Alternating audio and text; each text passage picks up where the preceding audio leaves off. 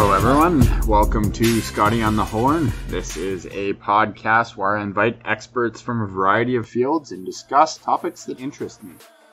Today's guest is Dr. Michael Carter. He started his academic journey at Brock University, where he did his undergraduate degree and master's. He then moved on to do a PhD at the University of Ottawa. He did a postdoc at Queen's University before settling in his final position at University McMaster as an assistant professor in the Department of Kinesiology.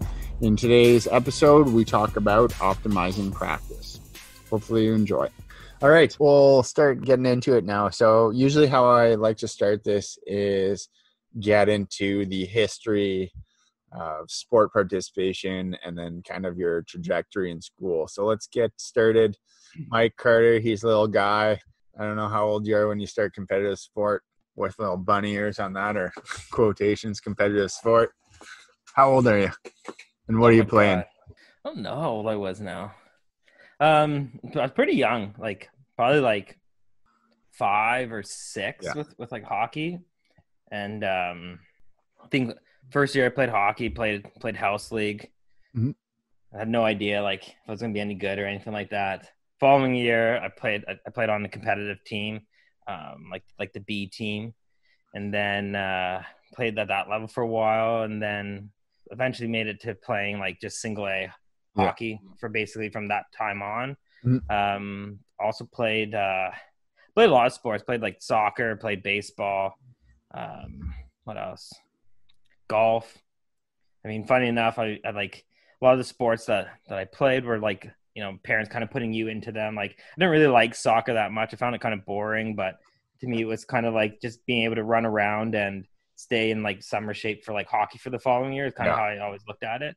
I just it like it's just not not my sport. And Well, you uh, know, you know, Raf, eh? Brazilian. I used to be in the Yeah. lab with for the listeners, but I used to always call soccer hockey conditioning, yeah, just yeah. because I would say it's not even worth playing. It's just to be in shape for hockey for a real sport. So yeah, he didn't like that all that much. oh yeah, no, And to a little guy when he had a little little boy, I brought him like a hockey stick and everything. And then when Katie was born, he sent a, he sent her a Brazilian uh, jersey, soccer Nice. jersey. So Well, I think part of it too is like like I'm just so not coordinated with my feet. Like you know, like I'll watch videos of like or I'll show videos of soccer players and lectures and stuff like that to like cover different sports. So I'm not always just focusing on on my sports. Um, and it's it's crazy what some people can do with it, right? Mhm, mhm. And and I mean, I'm just like clumsy beyond belief with my feet. Like you know, I barely barely barely can walk sometimes. So you're a good skater though. You're a really good skater. yeah, I'm okay at that. I mean, I'm I'm no I'm no Jeff Carter. Yeah. I mean, Yeah. you know, so Uh, but uh, well, I don't know if you were six two, you maybe. you know, I know, yeah. That, I mean, that that's that's the thing that hurted me. You know, that five five status doesn't doesn't really help you in in in the hockey world too much. Yeah. so played hockey growing up, golf. Yeah. Mike's actually quite a good golfer. Did you play? Where did you play golf? Was it just Just for fun. I'm terrible at golf now, though. I don't I don't golf enough. I've lost all all the consistency. Um, you? You worked But- at golf courses. yeah, I worked at golf courses. So I worked for kinda for for ClubLink for for a few years, and uh, no, I mean, funny enough, like golf was the only sport I asked my parents to put me in. and It's the only one I didn't get put in. so, but but it's fair. Neither of my parents really liked golf, and uh, I'm pretty like I feel like I might have played one round of golf with my mom in my entire life, and Yeah. maybe ten or so with my dad. It just wasn't the things that that they liked. So once I kind of you know got a job and I could drive, then you know I was able to kind of start golfing more on on My favorite more, is more than I was doing before that. So my favorite is we have uh we used to go camping every year in the states for my birthday, and then one of my buddies' dads found out Mike was good at golf, and then started golfing with him instead of his son. so, I forgot about that. Yeah, golfing with Brad's dad. yeah, Yeah. the son he never had. That's so funny. Well, that, that's actually like speaking of uh, when I was going through some of these old hard drives, trying to find some data files for uh, for a request I got for one of our papers, um, I found some videos of like you early days golf and when we were teaching you how to golf. Yeah. So I should send them to you because they'd be good for you to show in like uh, when you give a lecture on this sort of topic and you can talk about like you know beginning Yeah. Yeah, I was. But it, but it was Mike- it was crazy watching it because of comparing it to um when we played when I came out to Lethbridge last Yeah. year. Just seeing your swing then versus you know six years ago. Mhm. It's it's pretty crazy. I've actually last round I was able to fix my slice. Like I slice hard on the driver all the time. And Yeah. like what I figured was when you come up and if I sort of go around to the ball, kind of from the like outside in, Yeah. it would straighten it out. Nice.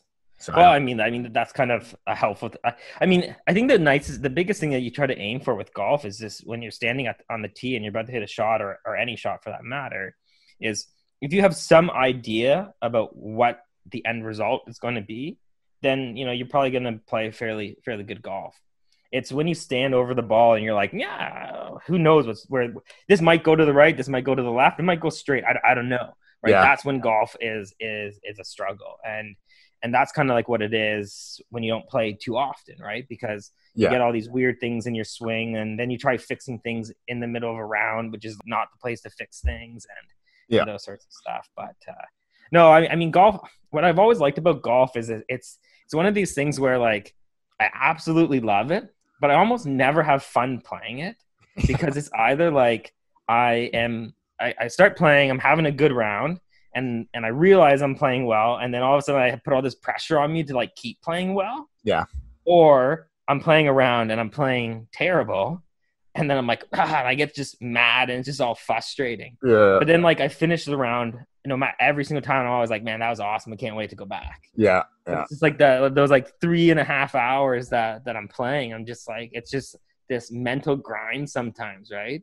Yeah, you'll you'll play like crap the whole round, and then you just uh, get enough nice hits that make you want to come back because you know you can do them. Yeah. Yeah. Or you have like your best hole is the 18th hole or something like that, Yeah, yeah. right? Yeah. And so you have this like recent memory of like success. You're like, oh, now I just need to do that on every single hole the next time Yeah. I play, and you know the golf will be I, I, I figured it out. Yeah. Next Yeah, time then I'll know. Yeah. yeah. Then then you go to the next round and and you stand on that first tee and you hit and you're like, oh, here we go, here we go again. but Yeah. I think it, it's I think the challenge is is like I mean I only if I play four rounds a year now, like that's a pretty good year for me. Yeah. Like I've like I've played twice this year. I mean I I know it's a pandemic, but I think Yeah. I have some buddies who've played a ton of golf. Well, I know So- people who've played a lot more. Yeah. Well, that's ex- exactly right. I mean, also, you know, like like you, also a new dad. So Yeah, yeah, I mean, it's it's tough to to get away at, at times and play. So I, I just can't wait for him to be old enough to golf as well. yeah, yeah. Then we can get a couple couple golf memberships and Right. just live at the golf course on the weekend. yeah. Awesome. So So okay, so we've covered some your sport history here now. Let's uh let's get into school. Where'd you go to high school actually? went to high school in uh, Markham. Markham. Went to Markville Secondary School. Nice. Yeah. I think it was. I think I think that's what it was. I think it's what it's called. Yeah. Oh God, I'm not, that probably tells you right there how much time I spent at the school. Yeah. But uh, um, yeah, so I went to Markville. I, I, I think that's what, why I just called it that. I should probably know what it is. My sister teaches at at that high school now that we Yeah. both went to, which is kind of interesting. So I went there. I went there because of um, for French French immersion. Yeah. Um, and then uh, I guess it was called French Extended. I guess I can't remember. It's something like that. Anyways, and then from there I went to Brock University to do my undergrad. Um, and then I stayed at Brock to do my What did you master's go undergrad in? physical education. I didn't really know what I wanted to do. I mean, uh, when I think back on it, like I didn't really originally I didn't even want to want to go to university. I didn't really have any plans to go to university. I, like my my plan as like a teenager was to uh, work at Loblaws for the rest of my life Yeah. and uh, which like i mean it just as like a kid making money in high school like it was just it was nice right and and i didn't really particularly enjoy high school Yeah. and i didn't really think i was all that great at at school um and uh there's a fair number of teachers some still there that would probably agree with like that that that statement but um anyways, yeah, I eventually decided to apply. I was a little bit kind of sporadic with my my applications. Like I only applied to like three universities and three different programs. So there's Oh, like yeah. no consistency, like what I was thinking clearly. Uh, no. but I remember thinking like, you know, like I thought about going to university, doing phys ed to become a gym teacher. Yeah. And then to maybe try to, you know, help people not have the same experience in high school that I did. Um, and, and, and that. And so I got to university, ended up loving school for like the first time in my life. Mm. Um, re- kind of realized that I was, uh, I guess I'm kind of okay at, at school, much better than what I would have predicted from, you know, high school grades. Um, and, uh, yeah, I mean, like clearly never really left, Yeah, yeah. but, um, but yeah, so did phys ed, but very early into it, I realized I did not want to be a gym teacher. Yeah. And, uh, I, I mean, and then I did the usual, like, you know, flipping and flopping kind of between different things, not really sure what to do. Yeah. And then eventually it was, you know, February or March of like my fourth year and uh of uh, like the final semester and i'm just like oh we're done like next month don't Yeah. know what to do and uh, so i walked into uh jae patterson's office and was just kind of like hey jae what do you think about maybe being my master supervisor Yeah. and we we chatted a little bit about that and and he agreed and so i applied to do my masters and eventually got in and and i remember like when i got the acceptance being like man this is this is cool. I now know what i'm gonna do. And then all of a sudden i had this like huge like realization of like oh now i gotta do a thesis. I don't have no idea what i'm gonna do for a thesis. Like Yeah. I, I can't think of anything. Like, Yeah. know, like i don't know what i'm gonna do. And and at that time like i didn't do an undergrad thesis like how most people do. I didn't do Um, it either. yeah like it was it wasn't it's interesting because like when I at ottawa like where obviously we met um like it was marketed and promoted and and professors like you know recruited students and talked to them about it. And that's how it is at mcmaster for me. Um we you know we'll we'll if we think a student might be good for it we'll kind of email them or you know pull them aside and, and chat with them. And i mean or you know no one really wanted to work with me as an undergrad possibly. I wouldn't i wouldn't blame them in, in that way. But and so maybe that did happen at brock but i definitely didn't get um at least with my recollection it wasn't kind of promoted in the same way it is at other universities Yeah. so but anyways yeah i ended up doing that i got a summer grant to work in the lab um, and so that was like kind of my first research experience leading up to doing starting my master's that that that fall semester So was there something that made you like what made you think maybe a master's? Like was there a moment, was there a teacher, was there a class or was it No, or was I- it just I don't know what I'm doing and here's a way to put a two year I- I- on? I think it, I think it's a, a lot of things. I think in in some ways it was kind of like um, I'm really enjoying school. Mhm. I wouldn't mind having some control over kind of what I learn now. Um, a little bit of like I still don't know what I want to do. This might buy me a bit of time to kind of think and and you know gain some different skills.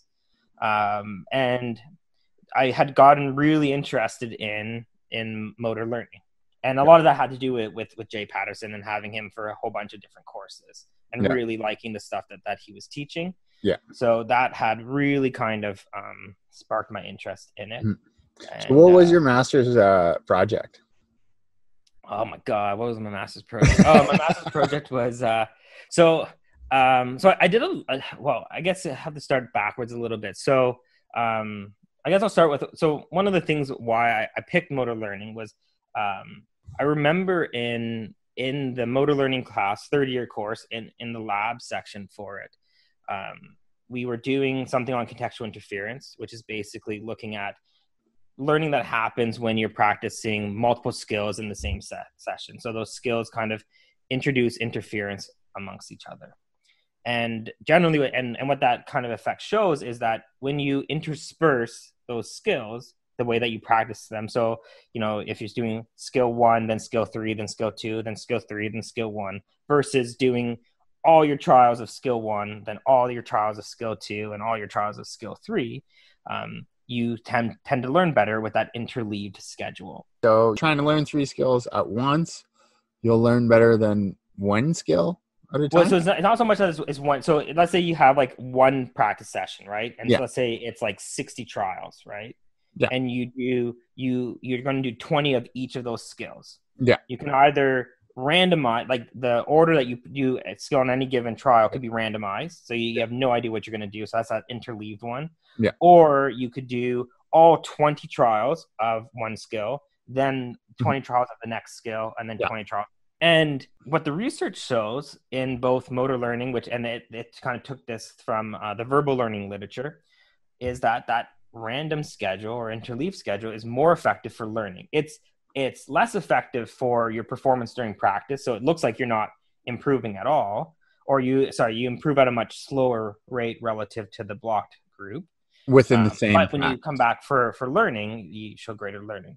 Mhm. So I remember learning about this in that in that class and and discussing the article in the lab section before actually doing this. And it was so contrary to everything I've experienced in my entire life with sports and and practices. Everything is very kind of this rote repetition block kind of schedules. And so I was like, there's no way that this is better. Like I just I, I couldn't buy it, even though like you you get told all this stuff in class, but I was just like, my experience tells me that there's no way this could be, be it. Mhm. And so we did this lab, and and to my amazement, it worked. Like, Yeah. random was better in this like not really controlled setting. You don't really have somebody kind of you know being this experimenter or acting Yeah. as this coach is really guiding it. It's just kind of you're doing it on your own, and and it seemed powerful enough to kind of have the, this effect happen. And it, and it just kind of blew my mind. And and from there, I was just like hooked on on kind of motor learning and and that Yeah. sort of stuff. So, but anyway, so then from there, in terms of what my master's was on, at, around that time, there was some popularity gaining in research looking at letting the learner to make decisions in their practice environment. So generally, if you're learning some skill, or you, let's say you know you're rehabilitating an injury, you go to a physical therapist. They kind of tell you exactly what to do. Right? You're going to do these exercises this many times in this order. And people were showing that if you let the learner decide, you know, when they want feedback or the order they're going to practice skills in or when they're going to observe a model, that that led to better learning outcomes relative to a group of participants that were matched to someone in that choice group and replicated their schedule, but they didn't get to have that same opportunity.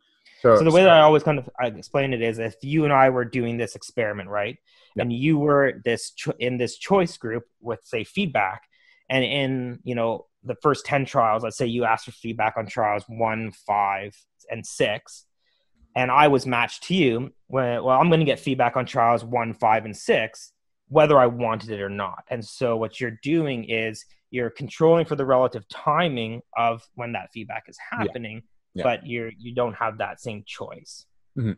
and so people were kind of exploring this seeing when was it when when was this happening? And my first exposure to doing a study with this was a directed study during my master's course where we looked at whether or not people could control their feedback schedule for learning multiple skills. Everyone up to that point had always just been a single skill. And and it and we found some some benefit for that. Um and so So isn't I- one of the isn't one of the benefits that people, when given the choice, tend to choose more of a random schedule? it, so if they are doing the the multiple skills what ends up happening is uh, generally what you end up seeing is they kind of transition so they may start off doing a little bit more kind of block like Yeah. but as practice kind of continues on they basically increase this challenge on themselves without probably realizing it but they do start doing more task switching later I have a on. feeling we'll probably go over these terms, but can you, like a bunch of times, so can you define block, serial, and random? Just because Yeah, I, I imagine we'll probably use them a bunch. Yeah, yeah. So block practice, um, easiest way. So let's say you have the three skills: skill A, skill B, and skill C. Block practice would be let's do all of your trials of skill A, then you move on to all your trials of skill B, and then all your trials of skill C. And so what you have there is this practice schedule that is highly predictable, and and high high repetitions of performing that st- same skill. Excuse me, and that could be like the one end of the continuum at the other end of the continuum, you're going to have random practice where it's going to be interleaved. You don't know, you don't have this predictability. So it might be A, then C, then A, then B, then C, then A, and it just kind of keeps going until you do the same number of trials for each of them. And then somewhere in the middle, you have something that's serial that kind of combines both uh, elements of blocked and elements of random. And so the elements of a block that you end up getting is this predictability. And then the elements of random is that you have this switching that's happening. So serial would be doing uh, skill A, B, C, A, B, C, A, B, C. And so that's kind of like this middle ground between the two of them. Mm-hmm. Could it be like A, A, A, B, B, B, C, C, C? Yeah, you could end up doing something like that. That would be be that would so if you had that continuum again, Yeah, that'd be- let's say you had this true serial, that Yeah. would fall somewhere in between like that serial and that and that random one. Yeah, yeah. because you have this repetition of the same thing happening. Yeah.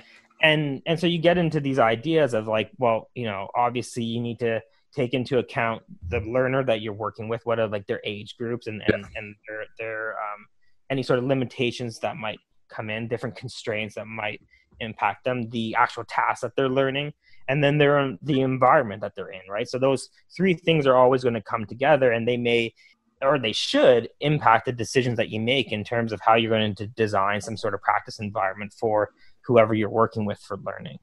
Mhm. But uh, yeah, so back to kind of uh, the master's work then was uh, so there was a, a paper by Chiviacowsky and Wulf in 2005 that was exploring one of the reasons why this might actually be.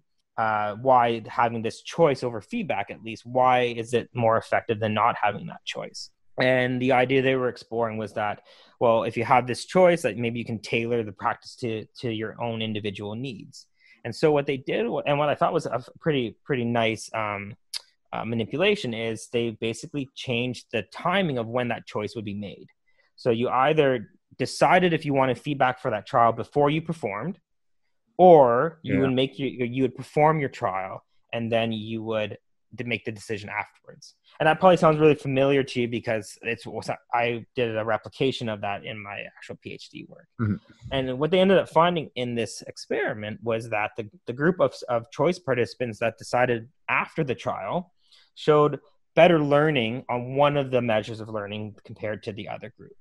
And so they took that as this evidence that deciding afterwards had some sort of advantage. And what they kind of linked it to was this idea of they may be engaging in, engaging in uh, spontaneous error estimation or, or subjective performance evaluations. And that may be used to decide whether or not you need feedback or not.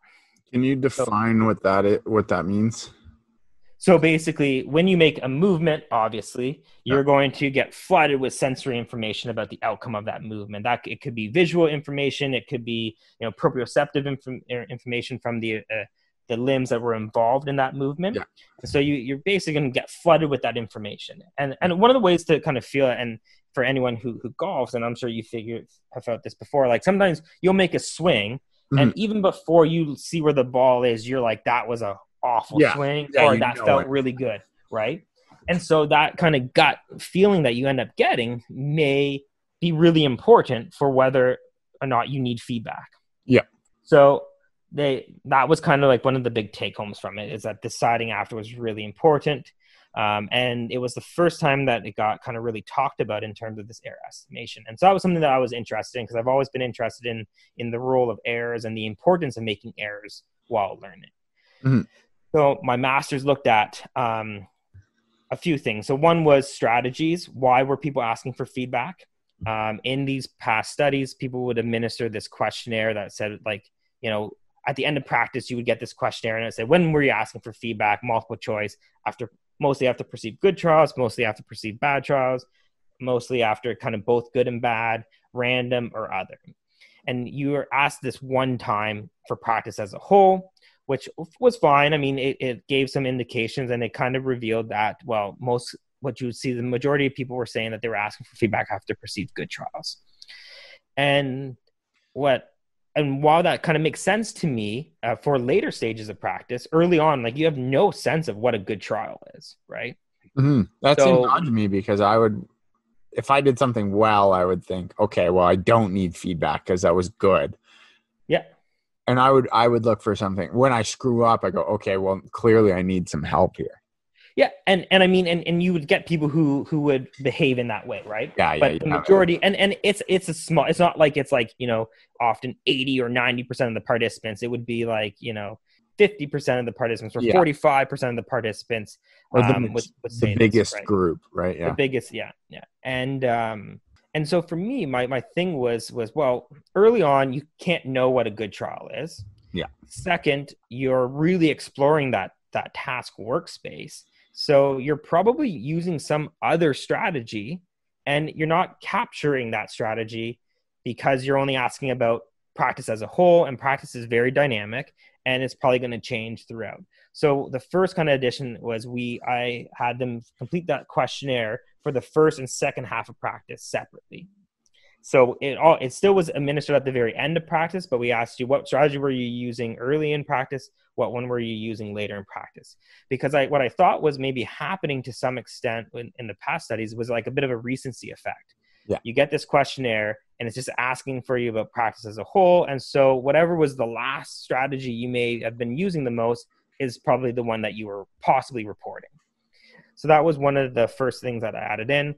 The other one I added in was some tests of error estimation. So if this is the reason why, if we ask people to actually estimate their performance during retention or transfer, so those are our two kind of two possible ways to go about looking at whether or not learning has actually happened. So in, a, in your standard motor learning experiment, for anyone who's not in motor learning, we have generally say three main phases. So we would have a practice phase or an acquisition phase where you are going to be introduced to the skill that you need to learn and you'll be in the experimental group that you're assigned. So whatever independent variable is being kind of manipulated by the researchers, whatever level you're at for that, you're going to be practicing with it. And that you would be calling performance, right? Yeah, in so that often gets as you got better, your performance would increase.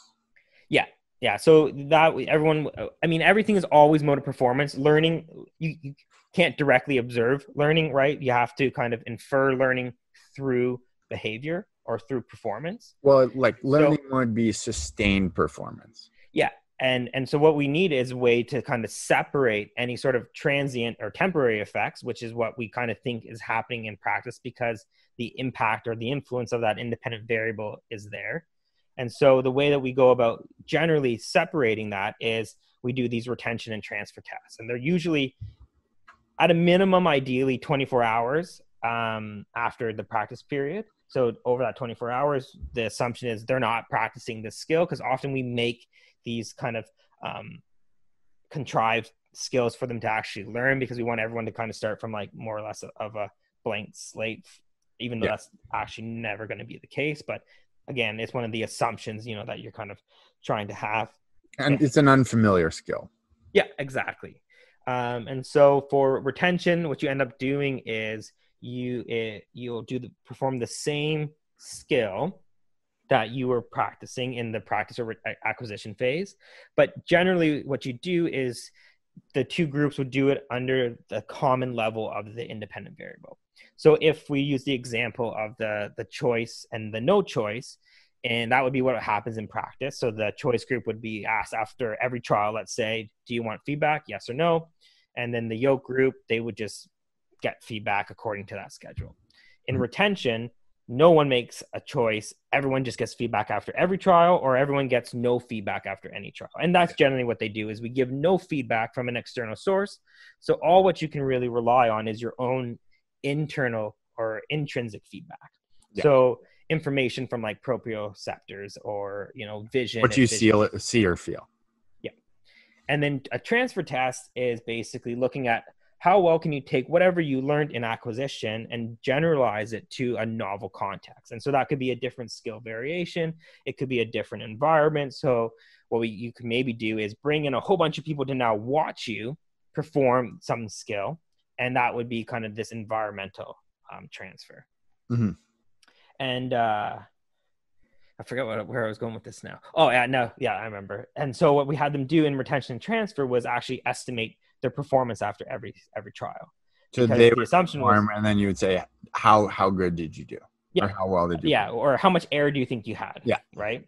And so what we had them doing was this basically this um, force production task where they had to propel this little object down a railing to a certain distance. And so people would just guess what was that final distance. Um, and you could get the amount of error between whatever the goal was. And then what you could look at is what is the error in terms of their estimation? Like how, how accurate was their guess relative to what they actually did. So you're kind of ignoring the actual target and just seeing what would happen there. And then the third thing I added in was I was interested in older adults. And so we had an older adult um, manipulation. So we did younger adults and older adults. Mm-hmm. And what we ended up finding was that for the younger adults, uh, we we showed the same kind of learning benefit from having choice, and we saw that the, the choice younger adults were also better at um, estimating their error compared to their the the control no choice group of the younger ad- adults. We saw that the self control group reported a change in their strategy from the first half to the second half. So early on, they were more so asking for feedback after both good and bad trials, relatively equal, they said. And that in the second half, they were more so switching towards asking for feedback after mostly good trials or perceived good trials, I should say. And then for the older adults, we basically found that they didn't really benefit from this this opportunity to exercise choice. They created really bad feedback schedules. They were either asking for feedback all the time or mm-hmm. almost never. Yeah. They were not good at estimating their performance and they used weird strategies at at times in terms of what they were kind of reporting. I don't remember all the details of it, but yeah. that kind of was was the the key thing with it. It was well, that, how do you explain that? How do you try and explain that? So we explained it in the context of a few things. So one of the ones we talked about was that as you get older, obviously there's differences in kind of information processing abilities and executive functions, and and so that may have been one of these things. So by make re- requiring them to make decisions about how to structure their practice, you may have been overloading them. Um, the other kind of one that's probably a little bit more believable when you look at their actual feedback schedules they created. For the groups that were asking for feedback basically after every single trial um, we know that that's actually not a good way of of of, of providing feedback for learning in generally more simple skills. Mm. um, having some reduced relative frequency is generally viewed as being more effective. Well doesn't so it become a crutch if you yeah, get feedback exactly. every time? Yeah yeah so if you're getting to get this you know really precise feedback from say a computer display or a coach why even bother learning to pay attention to your own own intrinsic feedback, right? Yeah, yeah. And so, especially when you then put them into a retention test where there is no feedback available, it's like they don't know how to use their own sensory information, right? And so the, the the idea is always that this retention test or transfer where there isn't going to be that feedback is a little bit more like kind of a game situation. So, but uh, yeah. Have you ever yeah, so, uh, have you ever sorry, studied elite athletes or like people who are highly skilled at the task? No. I wonder what it would be because when we look at the expertise literature, what separates experts from non experts is that experts work on weaknesses. So I wonder if they would only want feedback. Well, one, they have a lot of knowledge about about their own performance. And then I wonder if that would translate to asking for feedback only when they made a mistake. Yeah. So, um, so I've never done anything with that. Um, but uh, there are some researchers who are, are, are interested in expertise. So uh, Nikki Hodges, a, a, professor at the University of British Columbia, they did some of this like self-controlled or, or choice um, research using some experts. I don't remember the details of, of the study, yeah. anymore, but um, I can definitely send you the link to a link to the paper for it. Maybe I'll try and um, get Nikki Hodge on here. if She's got the time yeah. for me. yeah. So um, yeah, but um, but I mean, I I mean, if I fast forward kind of all the way to to now, right? Speaking kind of on this instead rather than focusing kind of on those past. Um, it's it's an interesting time for at least this choice research because what's interesting is for the most part in the last couple NASPAs. So NASPA um, last one of NASPAs, our main conferences. Yeah, the North American Society of Physical Activity and no sports psychology and physical activity. I always forget what it stands for, the order of them, yeah. but uh, something like that. Um, and uh, I just always call it NASPA. But um, what's been interesting is What's interesting with it is people have had some challenges replicating this benefit of choice. Mm-hmm. Like there was one year where there was a whole whole um, um, section on self control or choice, and I think maybe actually nobody found this benefit with it, right? And and speaking to kind of some of our our more re- the work that we've been doing in my lab now at at McMaster, we also have not really been able to find these benefits. And uh, so it's kind of been it's been interesting. And then you have um, brad mckay who just finished up his phd with diane st marie who i also did my phd with at the university of ottawa. Um, one of the parts of his um, dissertation is a meta-analysis that, that we've been all kind of working. Obviously, he's done the majority of the work, but we started doing this meta-analysis actually while I was at the University of Ottawa, and we actually have an abstract from an earlier time point with it but then it kind of you know things get busy and it, and it took some time to kind of get everything all together but this meta-analysis is really um, challenges the idea of whether or not actually giving choice is effective and so kind of like we're getting ready to basically just finalize the manuscript and and and pre-print it and submit it for for peer review but kind of the take home with it is it's it's showing that like you can't really distinguish the effect from from zero when you when you kind of um, control for all these different different factors. What do you control? one of the, so one of the the big ones was um, publication status. So basically, being published um, was kind of a, a big predictor of uh, whether or not you know you you had the effect or not. Okay, so there, yeah, well, that publication bias yeah. for sure in the field. So, so those who are not researchers, uh, there's a tendency for a paper to, to get published if you show significant results. If you find no significant results, it's equally valid of a study, but it's less interesting. So the journals are less likely to publish it. Yeah. Yeah. And and one of the other things too that that came out is um kind of a general or earlier it would have been i guess 2015 i want to say um, Matt Miller at Auburn University and Keith Lohse at who was at Auburn University at the time, but is now at um, Utah University University of Utah or Utah University. I'm not sure the the order of it, but um, University of Utah. University of Utah, and um, they came out with a paper, a really interesting paper that kind of was like, you know, a, a, persistent problem in motor learning studies is that they're underpowered and overworked. So we, they're generally these small samples that mm-hmm. run a ton of statistical tests. And the, it's something that kind of always stuck with in, in my mind a, a, little bit. And and one of the things is when you go and you look at these self control studies, you know, I, I think you know, the medium group medi, median group size is probably like I want to say like twelve or fifteen. Yeah, maybe, maybe even lower. Actually, I might I might be being generous there. And isn't like six uh, to eight pretty common? I would say generally you're seeing people doing between 10 per group up to 15 would kind of be that range that this idea is we just need to get, you know, say 12 people per group and we yeah. should be fine. Um, and, and that's probably not the case for the design. The, the designs that, that people are running with lots of tests, lots of dependent variables, lots of things often being manipulated, you often need a lot more people.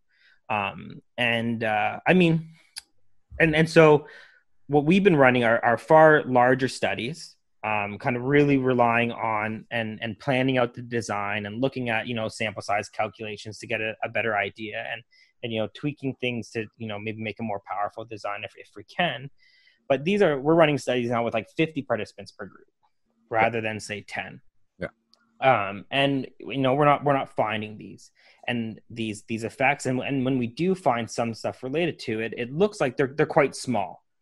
And so you need a lot of people to actually find that. And i mean for people who who don't know is that uh, smaller samples can inflate effect sizes yeah. that you know they're they're much noisier the confidence interval around that effect size estimate is going to be much larger and as you get a bigger sample size it's going to you know level out and kind of be around more what what it actually is and and and yeah and so there seems to be some odd things things with it and and so like even for me now like i'm at a point where I'm not even sure if I would make the recommendation that people should be giving people choice in, in practice. It seems like it's not going to have any sort of benefit and and you may be, you know, taking some focus away in some way from something or or or not giving them something else in, in its place that would be more effective.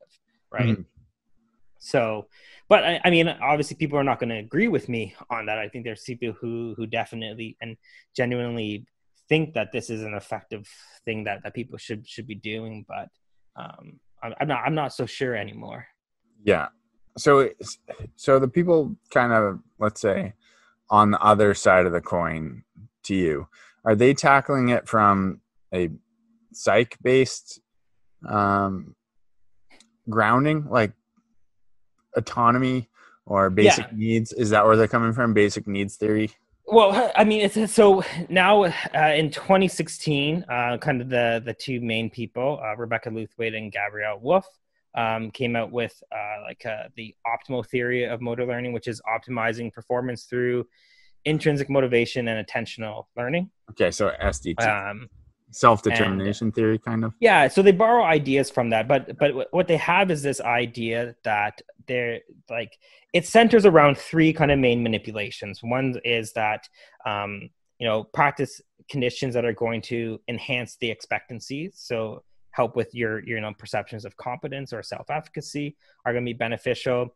Um, manipula- manipulations that are going to promote the um, the learner's autonomy will be beneficial, and then ones that are going to direct the learner's attention to the to more of an external focus, so to the movement outcomes or the movement effects, not thinking about the actual body limbs involved in in it which would be this internal focus. So having so, this so, external focus. So that would be the difference. Like I'm at a free, free throw line and I'm thinking internal would be I'm thinking how is my how does my elbow feel? How is it aligned? And then move a certain motor pattern that I'm planning yeah. versus yeah. like put your hand in the cookie jar, right? Well, yeah, I I mean you get yes, that would be a little bit of this external, but I think that that gets into more of an an analogy learning. Okay. Um, so, uh, like a, a, good one to think about would be if you were doing, let's say, a um, swinging a golf club. Yeah. Right. You could think about your wrists that are hold and, and hands holding the golf club, or you could tell them things that think about the actual golf club, that the head of the golf club, right, and yeah. how it's moving. Okay. And and the key thing here is that that attentional focus is a mental focus. It's not a visual focus. So it's what you're kind of thinking about yeah. as you're you're you're planning that actual movement or while you're performing the actual movement. Mm-hmm. And so, for, uh, sorry, go ahead.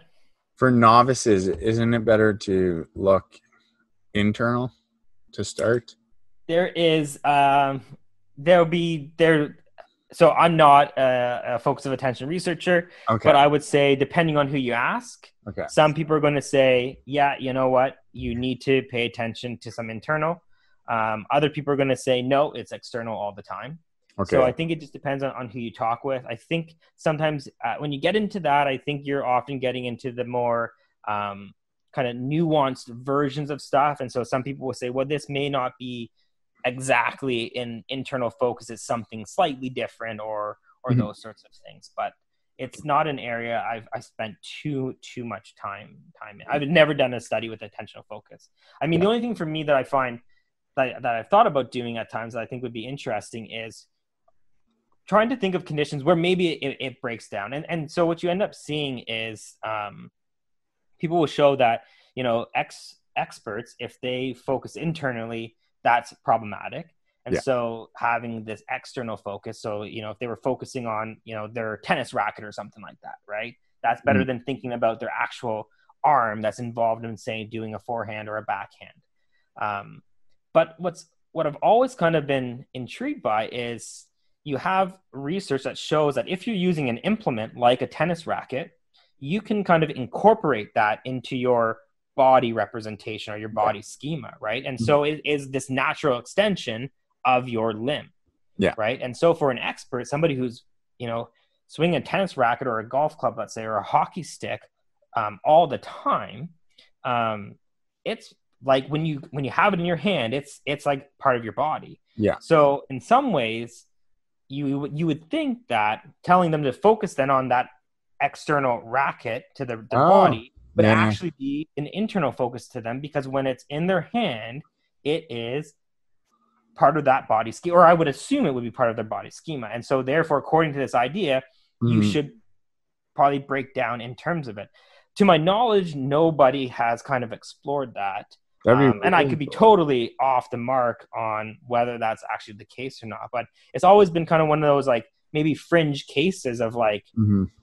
if it didn't work out, then and and that is in fact the case, well then there's some stuff to kind of you know explore there because one of the one of the issues and, and with a lot of the areas um, is I don't think we need more research showing that hey external is better than internal using this or doing in this group or doing this task right trying to research that's really trying to understand why it's beneficial is definitely I think or at least for me and my bias I find that more interesting Yeah.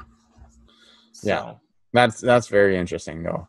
Thinking about the let's say the hockey stick as part of your body, because I imagine you would automate that motor behavior pattern, right?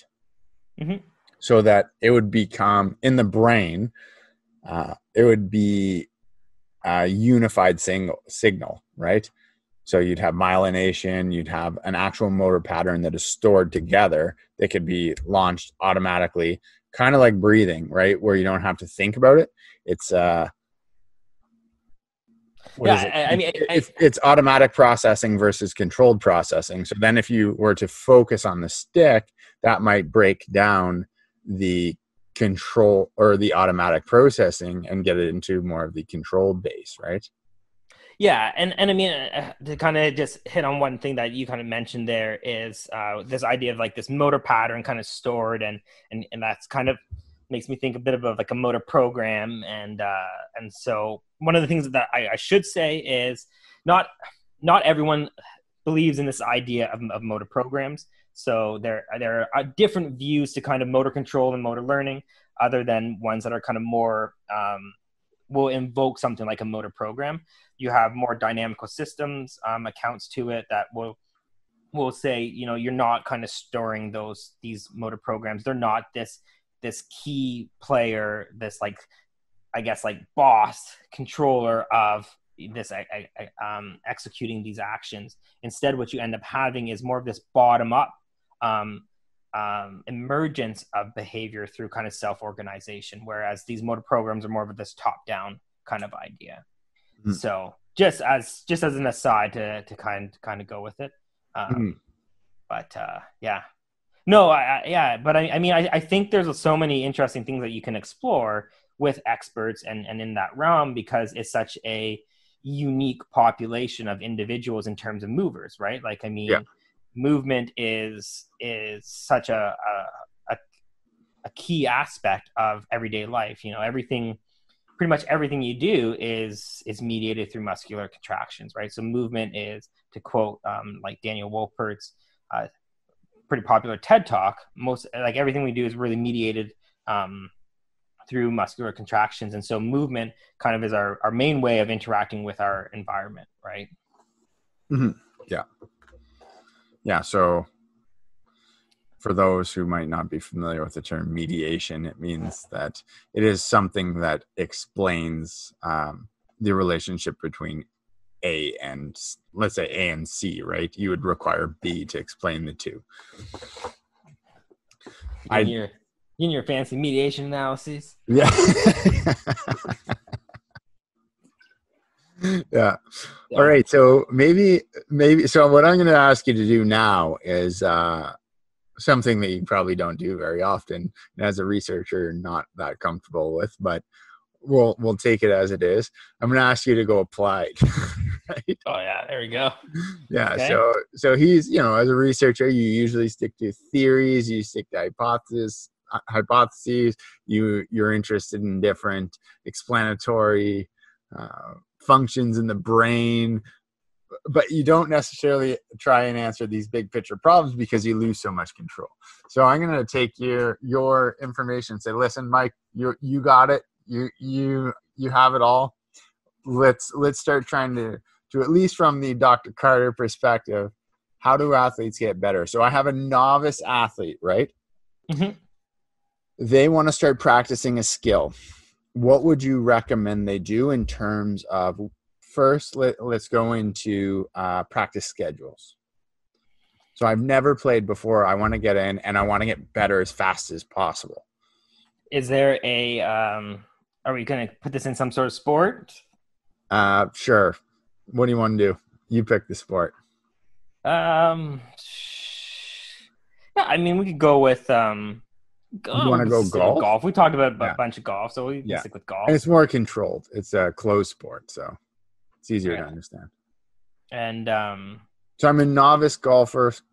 well, I mean, so like, welcomes the depends. court or the Go- go- sorry, I, I, I'll correct you a little bit. So golf is a little bit open though, right? Because the wind can change. You know, so like throughout throughout the time where you hit a shot to the next shot, right?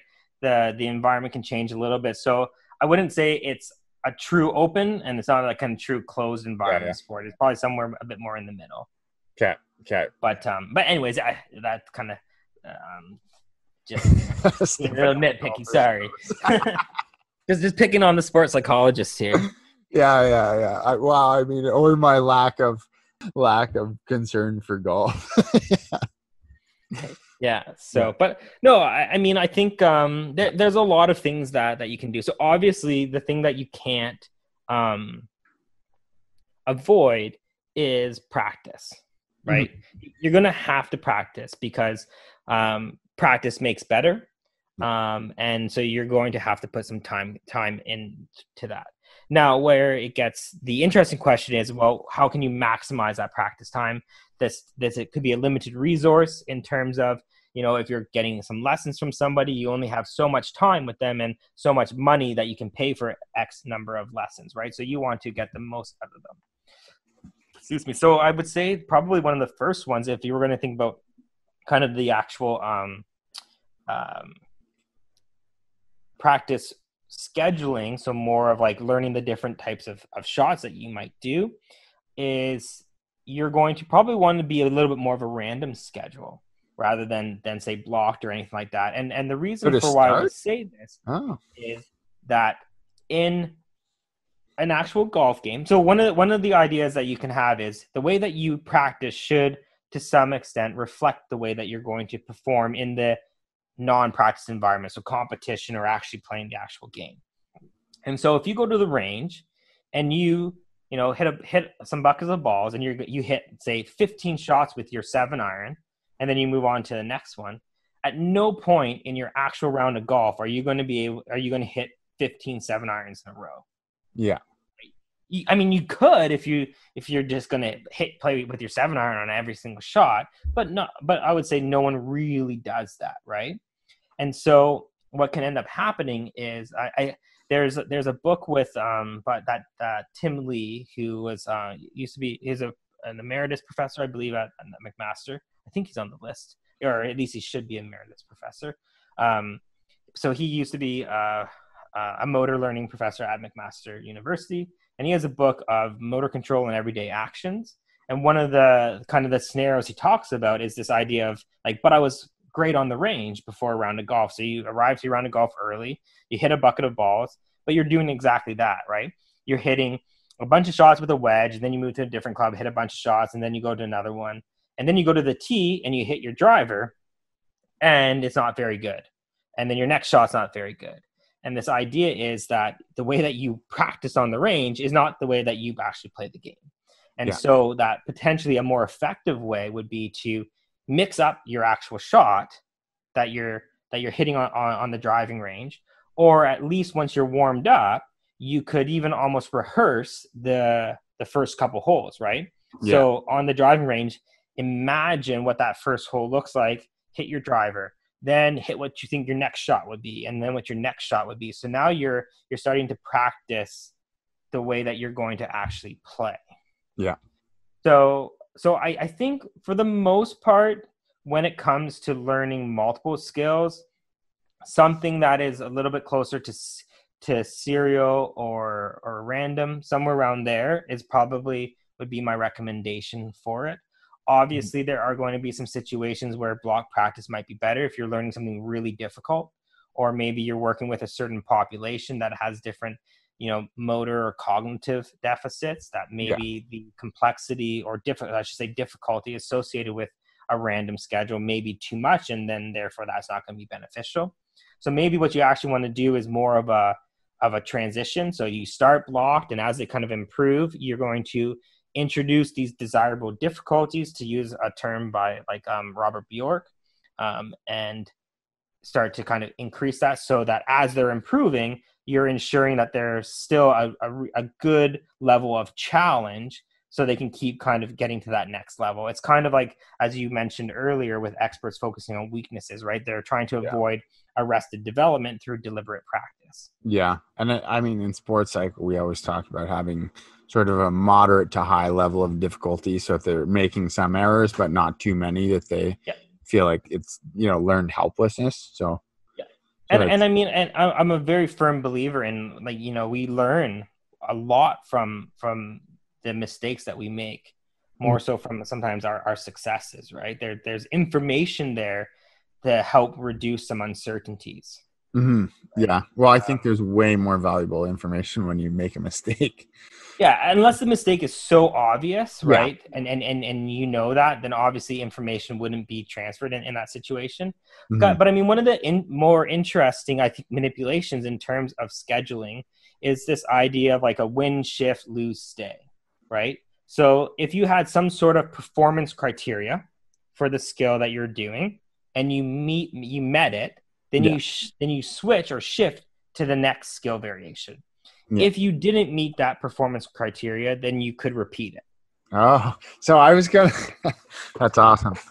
I wish I said this before because then I would look smart. I was going to say, I've been thinking, and obviously I haven't read a ton on motor learning, but I was like, if I was trying to think about, you know, some of the benefits between blocked serial and random practice in the sense that blocked you tend to perform better um, in that one practice schedule. So you will, you know, seem to get better in one practice, right?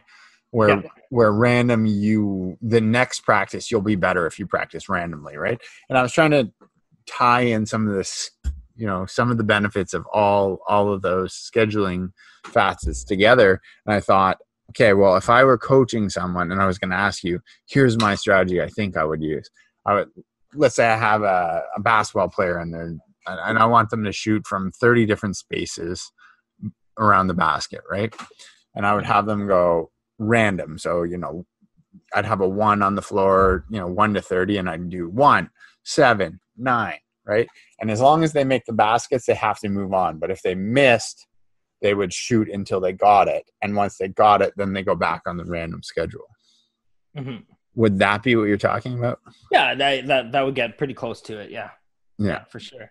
So, but again, I mean, so the, I think the really interest, interesting thing when you start thinking about the application and I mean, full disclosure, I don't think about application that that often. It's kind of not really what I'm interested in. Um, and uh, but I think that the challenge is is so we know if you put somebody into random practice, it looks like they're not learning. You yeah. know, they they struggle, they make mistakes.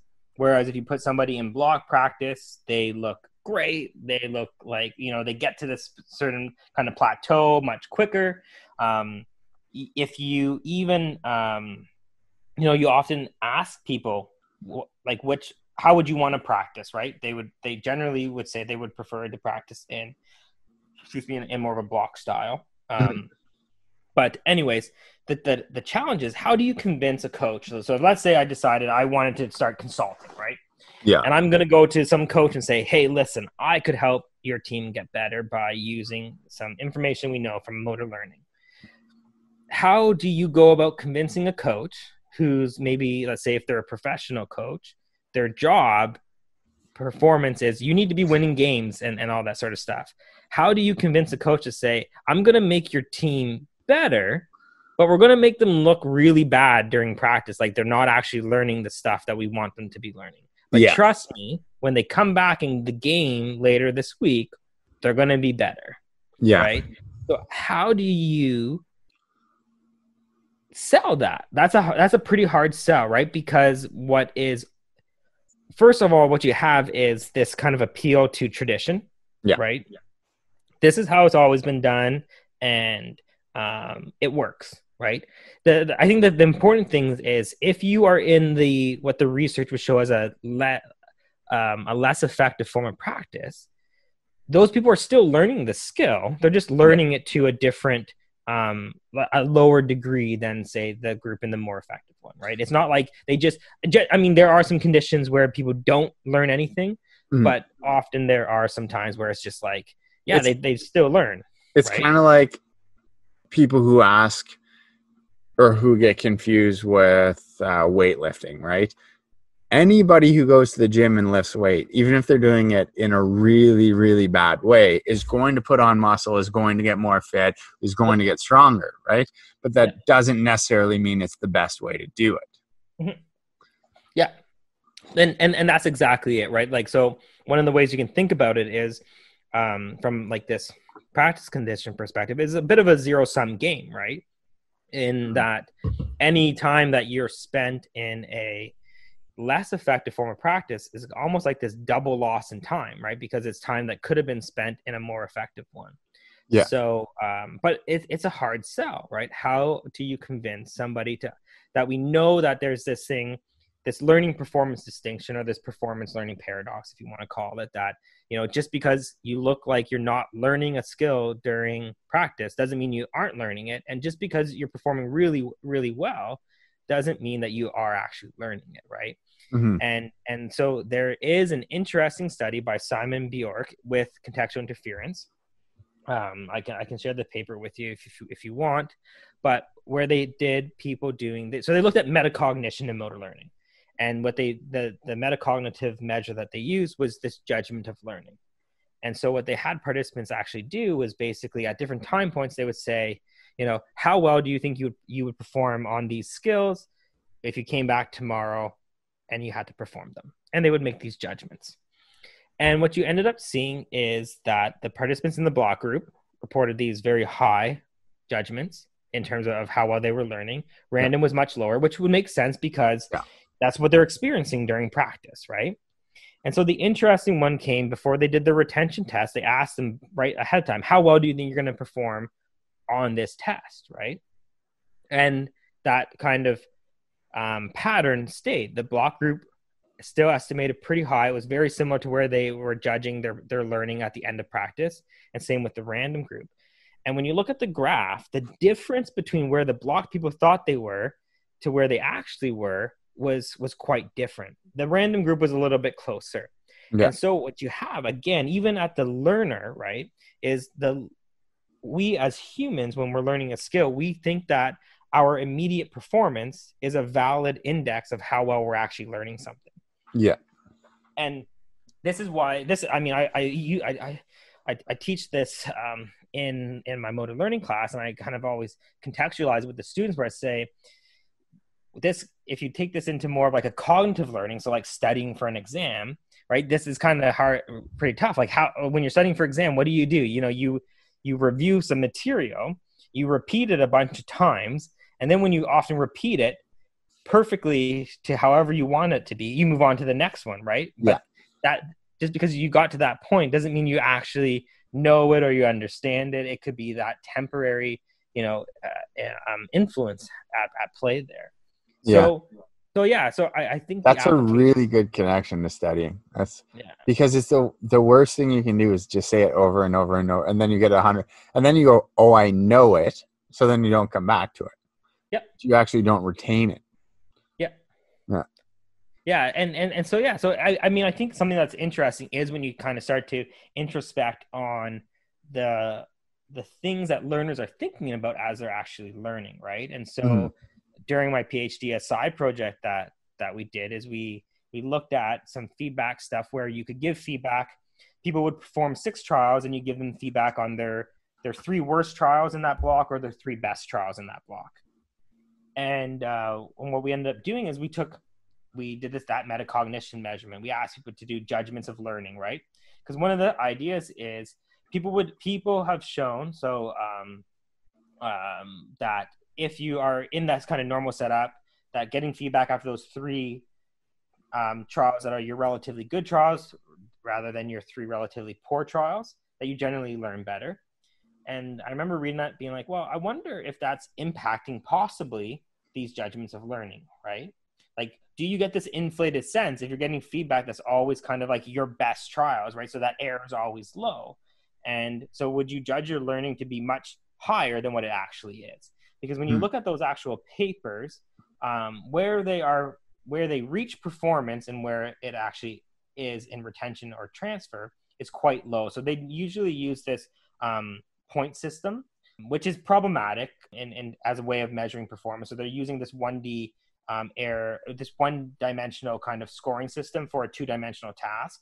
So there's all sorts of problems with that. And, and there have been some papers that have talked about that. And it's something that as a field and people doing research using these tasks that they need to be a little bit more cognizant of, in my opinion. And I think us as a field needs to not be so accepting of publishing these papers because yeah. People can show that there are problems with with measuring behavior that way. But that's outside of, of of of what i was getting at here. And and yeah and so if there is still this really low performance but you think that you're really good at something right? And and your performance is quite low. So if the way you perceive your learning doesn't really match on you can think of situations where that could be a bit of a problem right? If you think you're really good at something and you decide to step up but your skill level isn't there you, there could be some bad consequences right? You could you know lose the big game for your team.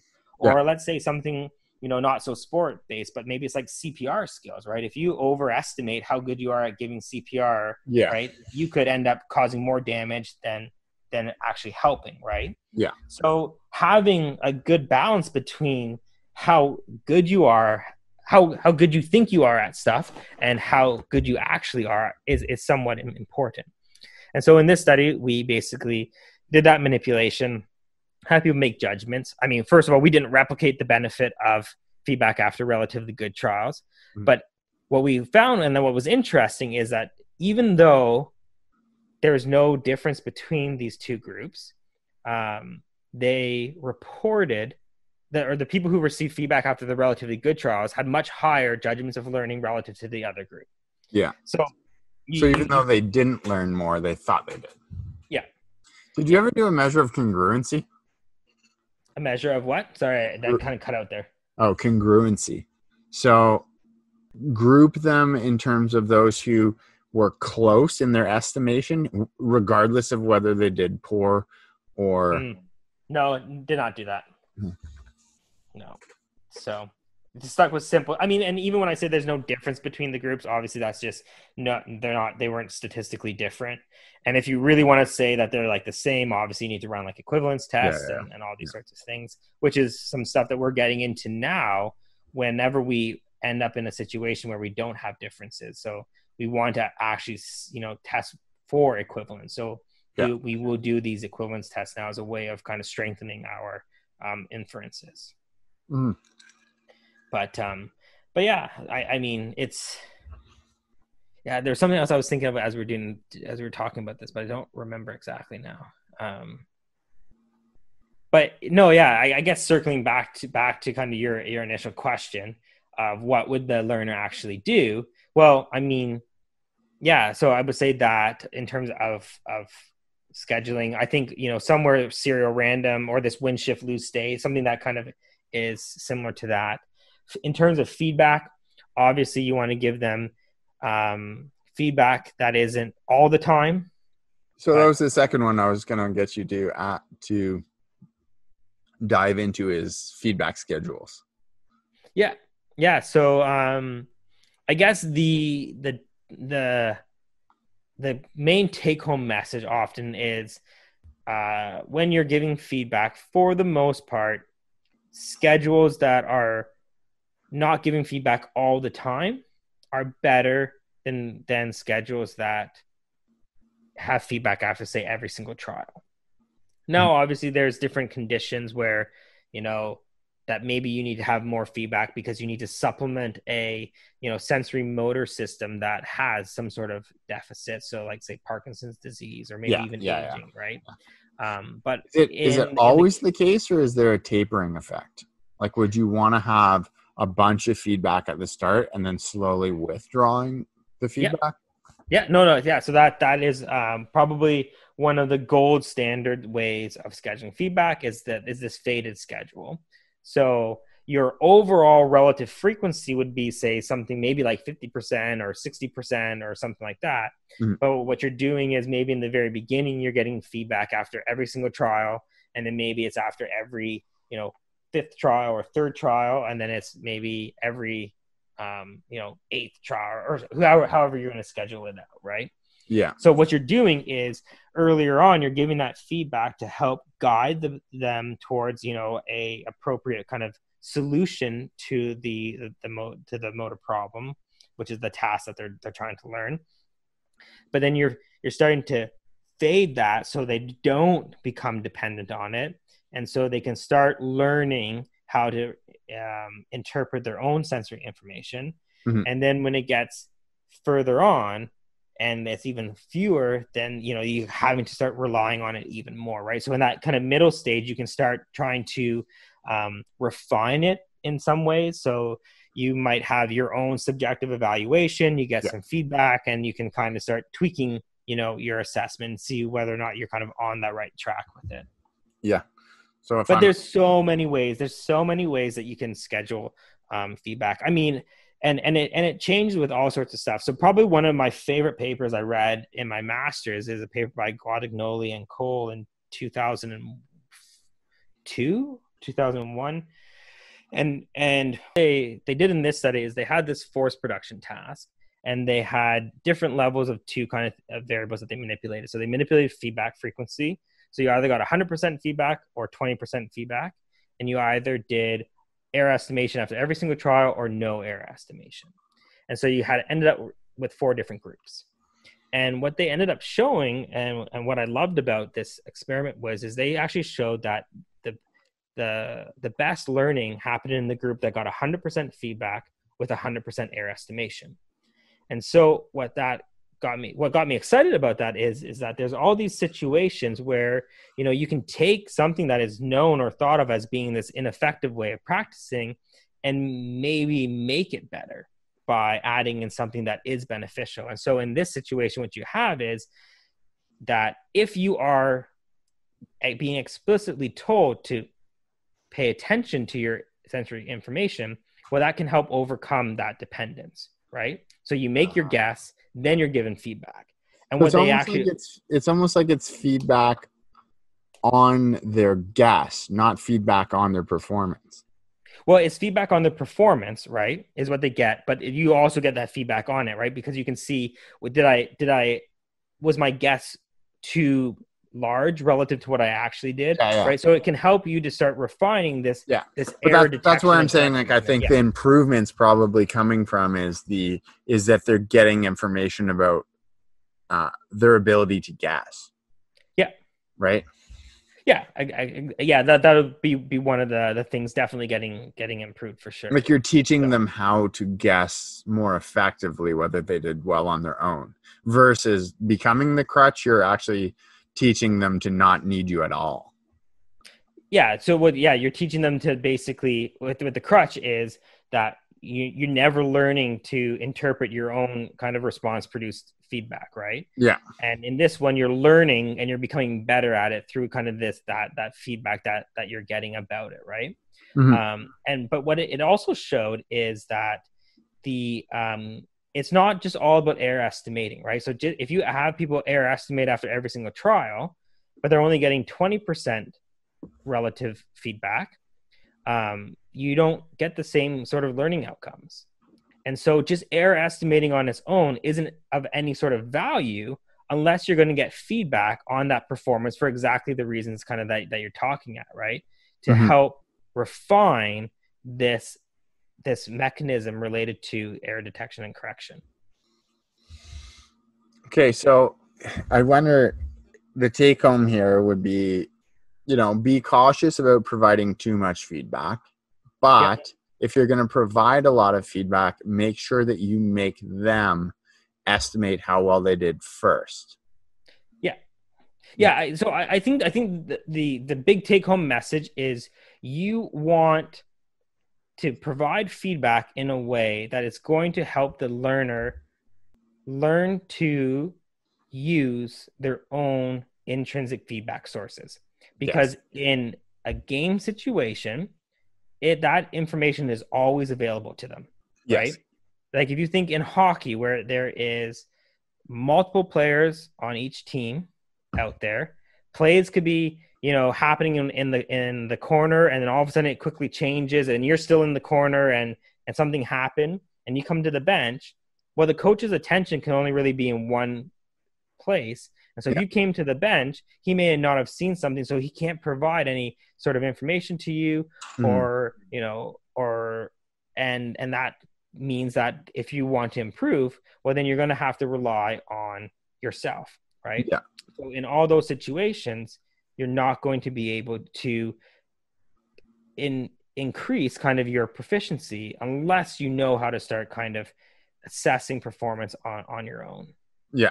so that's kind of the the, the big big take home Yeah, yeah. Yeah. All right. So I, I got you. I got some applied take home here. So now I'm wondering. I asked you before. I'm a rookie. I'm trying. I'm learning a new task. You said, "Hey, you should still do more of a random scheduling where I'm not just doing one task at a time." Feedback should probably start being frequent at the start with the athlete, and then taper off as they get more skilled. yep And then if you're going to provide feedback, you should see if they can, you know, get the athlete to to reflect themselves first and then give feedback based on that or about that as well. Okay. So what about an expert? If you're thinking now on what you know about motor learning, if I go in and now I suddenly get the trust of the uh the Pronghorns basketball team, right? So at my university, they're far better basketball players than I am. Uh, I come in, but I say, listen, I've been speaking with this expert in lear- motor learning. I want to make your team better at shooting. I'd probably say you should probably find a motor learning person that that studies more applied stuff because they'll probably have more information that's valuable. Yeah, but I'm Um, giving you carte blanche here, right? I know, I know, I know, I know, yeah, and and and I mean, and that's kind of my. uh yeah, I'd be like, I'm not the person for that job. so I can't even tell you the like. I honestly. So Can't they're an expert. remember. They would probably. So let's break it down. I- Like they would probably have uh, have a large degree of error detection. I would imagine. Well, I, I I think I think where where you're probably going to go at is the type of feedback that they're going to be looking at, right? So if we talk about external feedback that can be given to a learner, we can basically kind of have two broad categories. We can have knowledge of results, which is like feedback about the outcome of your movement relative to a um, or an, feedback about the outcome of your action relative to the task goal. Yeah. So like, did you make Or a basket or not? Yeah. Or you can have um, knowledge of performance, which is feedback about the characteristics that led to a performance outcome. Yeah. And that's the type of feedback that is probably more often what people learning skills are going to want because in in more real sporting situations knowledge of results feedback is usually always available to you you can see the outcome right Yeah. so in the lab you know we study say knowledge of results because it's easy and so we basically eliminate vision or something like that from the Yeah. learner right Yeah, and yeah, yeah. so you kind of make it really important for learning the task and and you have this assumption that you're studying the process and that that process would probably relate for how knowledge of performance would be used as well Yeah. so so yeah so i mean and in some situations you see some similarities and and in other ones you see that it operates in in some different ways Mhm. and what you what you can also sometimes get at though too is sometimes what you see is the um, if you if you are manipulating knowledge of performance, you might start measuring say movement form and seeing you know is your form good relative to some sort of standardized you know throwing scale or Yeah.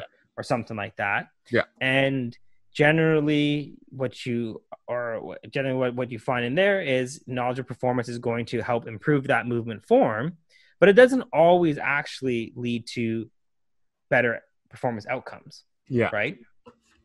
And so I think the an interesting applied question there is, well, is that really valuable? Yeah. In a sport that it's always more outcome based. Yeah. Yeah. Right. So uh, there's a, like a I don't remember all the details of the actual study. I think it was more about like um, feedback that was would induce an external focus versus an internal focus, and it was with soccer throw-ins. Mm-hmm. And uh, there was I think a frequency manipulation in it as well. But um, what you what you would see is that the group that had like the um, yeah there was a frequency manipulation. So you, what you had was higher higher frequency, but it was like external feedback in terms of like the the movement, the soccer throw in form. Yeah. Um, was better for learning the form, but there was actually no difference in terms of being more accurate with the actual target, right? Yeah. And so I remember thinking, well, okay, like that's interesting that you know you had this impact on the throwing form, but as long as you're not violating the the rules in terms of, of the soccer throw in, the most important thing is that you hit your target. Yeah. Right. So who cares if your throw looks a little bit uglier than somebody else's? But mm. if you can consistently hit that outcome, then you yeah. know I think that that's more important, right? And well, so I think I the think problem too is that we don't know the perfect. Like we think we know the perfect form. Like let, let's even look at hockey example here, right? Skating. We always thought skating you should finish a full stride, right? For so long, you have to finish your full stride to be a good fast skater, right? long, full, fully extended, kick out, you know, flick your toe. Here we go, right? Um, but then you look at Connor McDavid, and he never finishes a stride. He goes quick crossovers over and over and over again. And for so long, that would be told that's a bad skating process, right? But he's the fastest guy in the world. Didn't he? Didn't he lose the fastest skater in the last one? Well, yeah, but Maybe, maybe it's because he's not keeping his blades on the ice long enough. Anyway. yeah, okay, but he's the second fastest, and he's the fastest with the puck by far. Yeah. So, oh no, yeah, no, he, yeah. he's he's a fast skater. Yeah, yeah, no. yeah. But but, but uh, his mechanics and like mm-hmm. his explosion's insane, right? So, so well, by, I think by, that's the other thing too, right? Is I, again, I guess this is an interesting. I guess this is something interesting. Maybe there are some applied questions that actually interest me. Um, but is is the goal to try to get somebody to adopt some sort of movement pattern that is considered the gold standard so mm-hmm. like for years like when like you think prime tiger woods people were trying to mimic his swing right or would it be better to try to work with the natural kind of swing that somebody has and go from there. And that's probably for me probably what i would imagine is is the right way to go about doing it because again yes you know you want to move in a way that is the most you know energy efficient. You don't want to be expending energy that you don't need to. Um, and you also don't want to move in a way that might increase your risk of injury. Yeah. Um, but for some things it's going to obviously be more about the outcome so if something is more outcome defined then that's all that really matters, right? So if you think if you're working with, say, someone who who is had a stroke, right? And you know they need to brush their teeth or they need to you know tie their shoes or something, they may use some some combination of movements that look not very smooth or um, as you know as nice as somebody who didn't have a stroke. But if it gets the job done, yeah, that's that's kind of more more important i think right? And and i mean you look at it like nowadays you can see golfers with all sorts of different types of swings right? Like the new kind of interesting swing on the pga tour is, is matthew wolff's swing. Um, before that i mean you had like jim furyk's swing that that was fairly unique. So but again does this you, not tie back into knowledge or results though well eh, how how how are you thinking so I'm I'm thinking because I think you you were saying like knowledge of process is probably better. Sorry, not well knowledge of perform. So in most sporting situations, oh, the feedback yeah. you get is usually going to be about the movement characteristics. Yeah. Right. Like if you and I are working on on your golf swing, right, and we're on the driving range. Oh yeah, because that would be the feedback you would get. right? And and you would hit a shot, Yeah. You could see where it went. You could see if it went to the right or Yeah, if yeah, it yeah, went straight, right? What you may not know is some some more say maybe biomechanical information that led to that Yeah. performance outcome, Yeah. right? So, you know, were your hips really open? Were your, you know, was your did you kind of cast in terms of your actual swing Yeah. Yeah. yeah. sorts of So- things, so- right? Yeah, because uh, again, I was forgetting that the athlete knows their performance; they see it. Therefore, that's the let's say in a research terminology, that's the dependent variable. So what you want to know is gain that information, but the thing that caused it, the in, independent variable, right? So that makes sense. Mm-hmm. Yeah. Yeah. And and so I, I imagine that's kind of what you're going to get in. But but like I feel like it's yeah, it's it's I mean I'm I'm trying to think back about kind of you know the way you situated your question in terms of these expert people. But um, I mean I've never worked with experts. I also So- I also realized I made an assumption that these experts are are probably using block practice and they probably aren't. Like I bet you you would go to most practices even at a high level and well maybe maybe I don't know. Maybe I'll check out a basketball practice one day, but I wouldn't be So so I think I think there are more people aware of the benefits of random practice nowadays.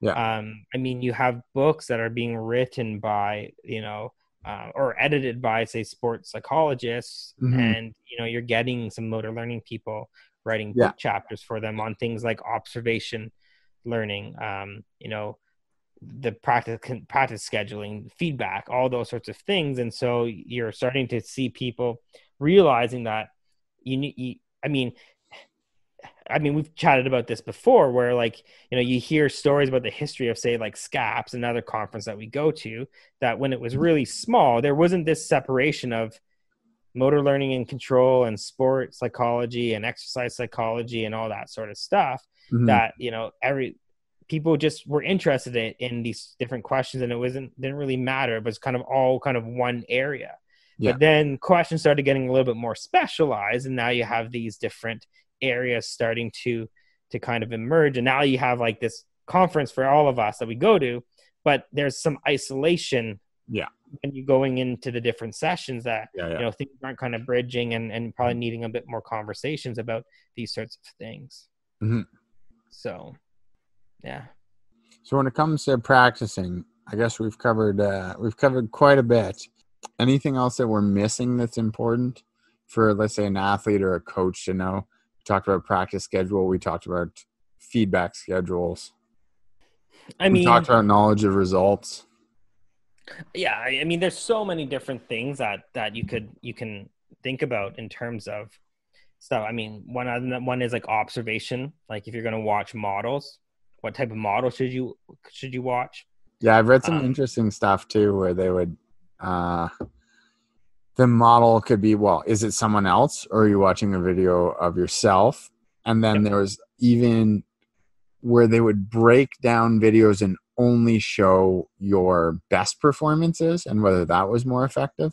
yeah so you could do like this feed forward modeling where uh, like a self self feed forward modeling where basically have somebody do a routine that you can break down into different sections and just do each component on its own and Yeah. then you could you know edit the video together to make it look like you were doing it Yeah, you had a perfect swing. Yeah.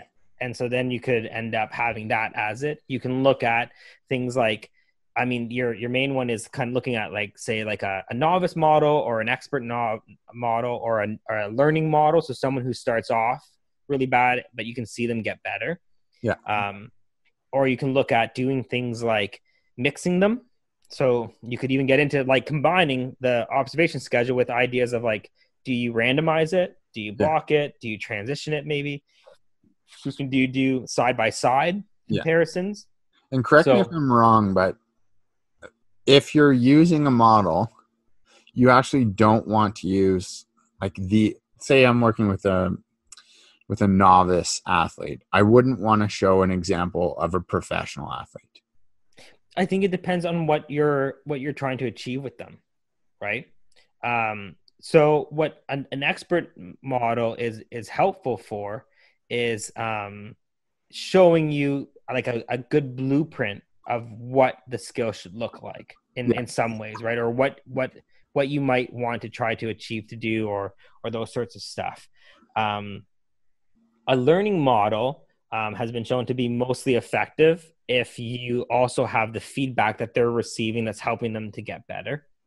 Um, so you without that information, watch someone have, perform and then listen to the feedback they receive. Yeah, because if they're getting better and you don't know what the feedback is, you have no idea what they were doing for for for exploring in that. Yeah, yeah, yeah, yeah. So you don't want that vicarious feedback. Mm-hmm. Awesome. Yeah, and but I, I think I think the um I think kind of one of the big things that people have been working with, at least the last time that I, I remember, I mean, I, I used to know a little bit more about the observational learning world because of um, working with Diane for my PhD. And that's kind of like, you know, her, her area of expertise is op- observational learning.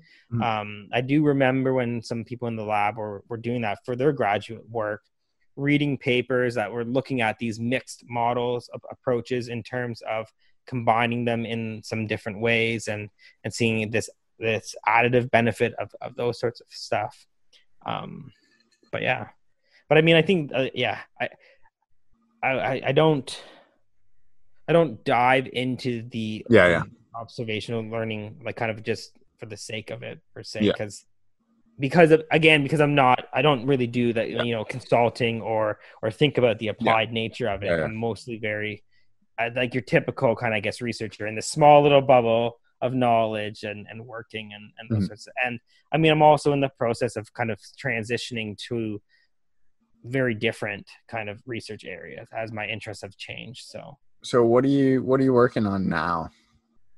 Uh, so we just so I mean to kind of finish to round out some some I guess lingering questions with the choice stuff. Um, we just kind of finished our last uh, experiment just before the pandemic started, which was kind of nice. So we're just mm-hmm. writing those those papers up, so I, I, can give a bit of an overview of them. Um, the first one that we did was uh, looking at the two different kind of explanations that are kind of available for it. So we got um, generally people kind of invoke two different explanations. One is kind of more of this information processing one, and one is more motivational. Um, and the idea is that when you give people choice from this motivational one, that you know you're getting this this benefit to these basic psychological needs of borrowing from self-determination theory. So things like autonomy support, they they say um, that it can help enhance their expectant expectancies for performance. So you you might also get in, increases in self-efficacy, and this yeah, has a positive impact on intrinsic motivation. You get better goal action coupling, and therefore you know you get better motor performance and better motor learning. On the other hand, you you have this more information processing view that kind of talks about when you give people control they can engage in these performance contingent strategies that can help to reduce any sort of uncertainty about their performance. Yeah. Um, and and so there's this this kind of more emphasis on these strategies that maybe people are are adopting. Um, yeah. and so i think one of the big differences between them is that from the more motivational view the the benefits really arise out of this choice opportunity. Mm-hmm. And so for me, one of the kind of the fundamental things with that then is if you have groups with with multiple groups that are exercising this choice, you really shouldn't see differences between them because they're having this choice opportunity. And so yeah. all those positive benefits should be at play for both those groups. Yeah. And so what we did in this experiment was we is we manipulated the feedback characteristics of the schedules that participants were receiving or controlling. And so what you had is participants receiving error-based feedback. So basically like you're told the exact amount you were off the target from. Yeah. Um, we gave graded feedback. So you would be told too slow, too fast, or yeah. too far or too short. And then in the follow-up experiment, we did binary feedback. So you're just told hit or miss. Yeah. Okay. And uh, so now you have those. So you're manipulating different... the quality of information. Exactly right. And so what you would get from this is is the prediction would be that excuse me from the information processing view these feedback characteristics would actually matter Yeah. And from the more motivational view, they, they shouldn't matter as much because people are still able to exercise choice, right? And so in the first experiment, we didn't really find um, any reliable differences between the um, uh, self control and the no choice groups, the choice groups and the and the choice and the no choice groups. So we didn't. Okay, so you did do that. You had a so like a six group design. So we had four groups in the experiment one, and then two groups in experiment two. So, but you had choice, no choice by the three. Yeah. So in experiment one, we have choice and no choice. Yeah. And then we and the the we have two levels of feedback. And each one of those get. Yeah. So we had four yeah, groups in perfect. experiment. Yeah. yeah. Sorry, awesome. Yeah. Awesome. Sorry, I should be better at explaining nice my own design. research. Yeah, and uh, and so what you ended up seeing is we don't we didn't replicate the self control benefit.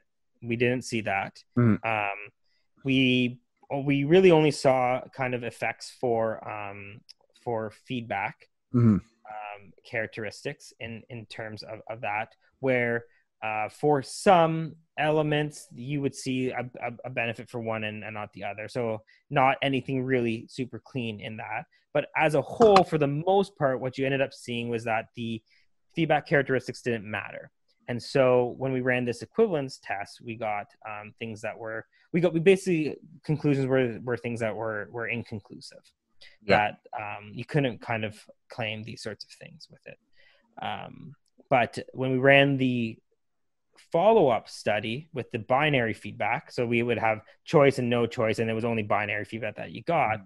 What was interesting there is that you, the people didn't even get better they didn't improve during practice at all. It's it, like it is a fairly straight line when you yeah. graph that, and it stays that way kind of in retention and transfer. Wow. And and so I mean, and that shouldn't be too surprising where you know you get into this um, uh, period where like unless you're right on that target, right, you're not going to get told anything. And so, I mean, you can learn from binary feedback, but what you're going to need is a lot longer practice versus say kind of graded feedback or um, error based feedback.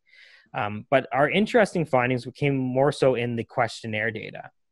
And so in this in this one study was was one of the only times up to this point where we actually found an effect for um, perceived autonomy oh it was very very small though yeah. and it required 40 people per group i think in order to to see it um, but again, that effect was very, very, it just reached significance mm. um, in terms of that magic threshold, but the effect size with it is quite small. Yeah. Um, but you also are not getting differences again in these other measures that that people would expect mm-hmm. to to have there, right?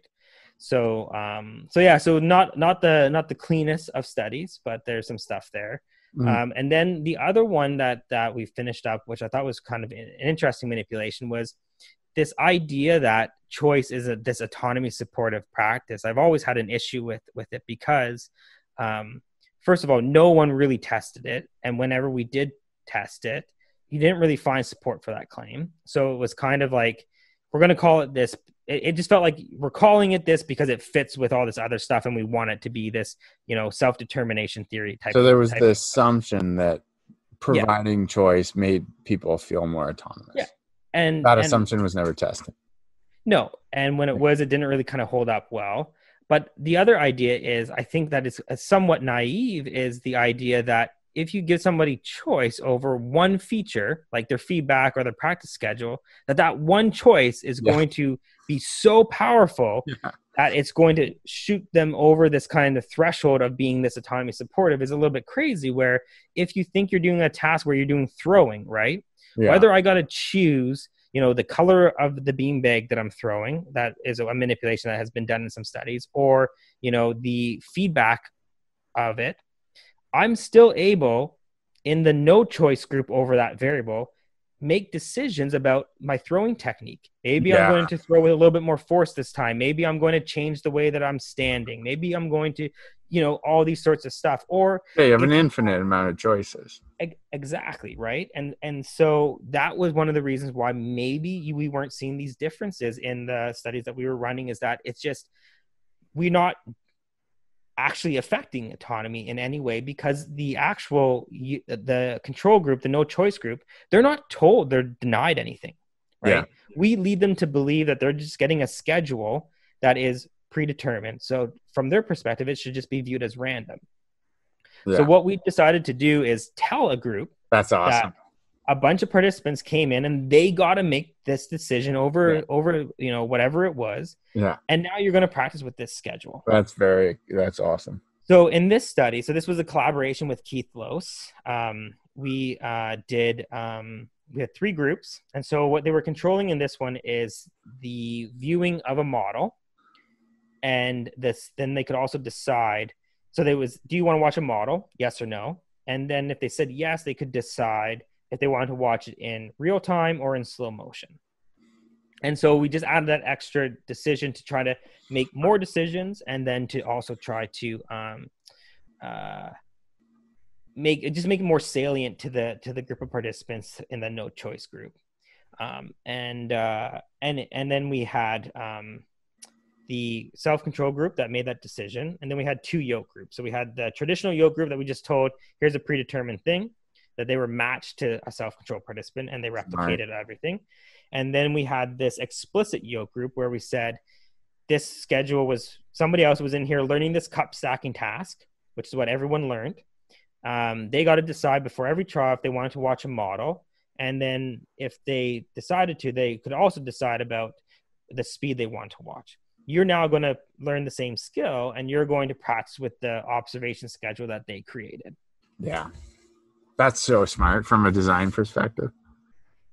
That's yeah, awesome. I, I, mean, it felt it felt it was one of the studies I was like, this is probably one of the smarter kind of That's simple awesome. designs that, yeah. that I. So would you would you find? That's so good though, because you have oh yeah, design wise. So, so here's the um, study where what you really are hoping to show is this group that is being explicitly told, you know, you're being denied these choices. Yeah, yeah. They should report lower perceived autonomy. Yeah.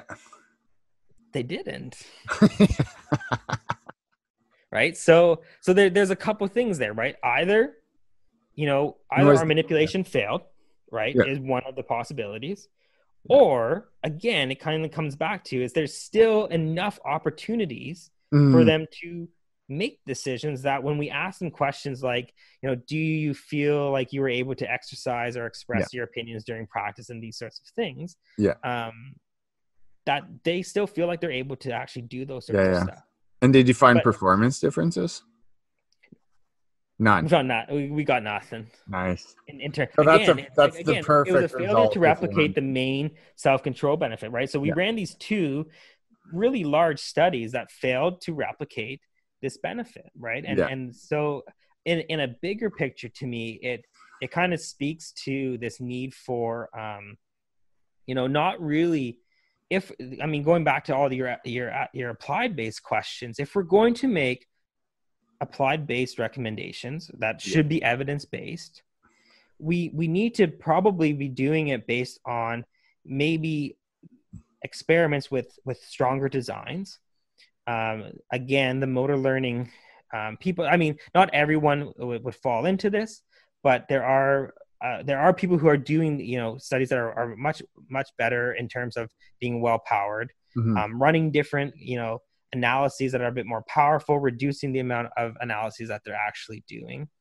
Um, to try to kind of get at these things, getting into things like pre-registering their yeah, design, pre- their I was going to say, are, are people doing registered reports, or just being more open, making their data available for during peer review, right? That is a huge one. When if I review a paper and the data is available and I can go through their R code and rerun their analysis analyses and reproduce it or calculate, you know, means and standard deviations and effect sizes if they haven't reported them, that is so useful, right? Yeah.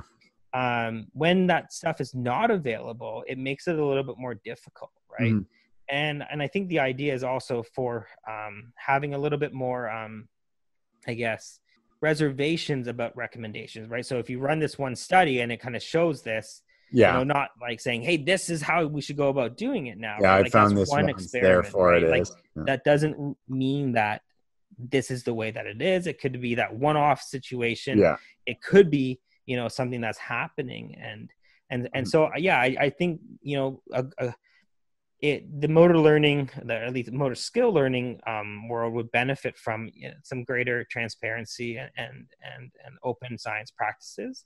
Yeah i, I think we all I, would.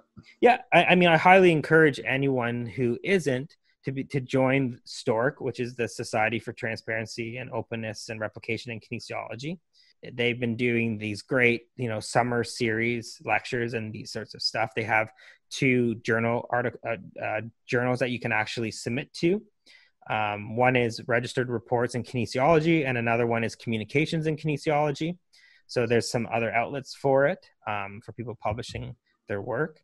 But um, in terms of kind of the research that, that we're get, i'm getting into and more interested in now is actually um, looking at people learning together. So looking at motor interactions. And so um, looking at kind of, I mean, it, it, still kind of stays in this realm of decision making and and errors. And mm-hmm. so, like the the example I would kind of give is if you and I were learning a task together, right? And you know, we had some sort of redundant control over what we're we're doing, and we don't succeed at the task. Well, you you have this assignment problem, right? Like what is the source of, of, of the error? Was it you? Was it me? Was it a combination of the two? Yeah. And, and that's a that presents a bit of a computational problem that needs to be resolved in some way. And the way that you go about assigning the source of error is going to impact the decision and the way you're going to behave on that next trial. Yeah. Right. So you can kind of start. So so there's some one of my PhD students is, is doing some work with that for, for her dissertation work, and we're doing it in collaboration with um, uh, Josh Cashaback at the University of Delaware. Um, we also have some other ones that are going to start looking at like, you know, it in terms of reinforcement learning and different kind of like, almost like games, like like like motor game versions of different things yeah. to kind of see. Excuse me, how are people, you know, learning in these different contexts?